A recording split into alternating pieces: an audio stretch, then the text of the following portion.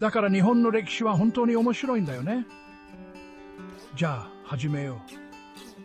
僕たちの旅は、縄文時代から始まるよ。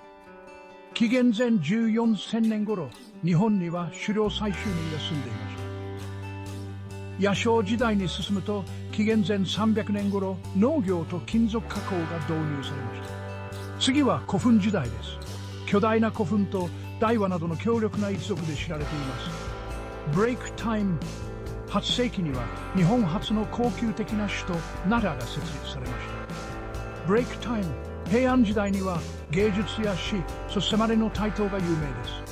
鎌倉時代には将軍が支配し軍事政権が誕生しました、はあ、戦国時代は戦国大名たちの戦争が続きましたが1600年に徳川家康が日本を統一し2かの50年の平和をもたらしました。ブレイクタイム1868年には明治維新が始まり日本は急速に近代化しました。そして現代今の日本は古代の伝統と最先端の技術が融合した国です。ブレイだから次に日本を考えるときは寿司やサマテだけじゃなく14千年の壮大な歴史も思い出してね。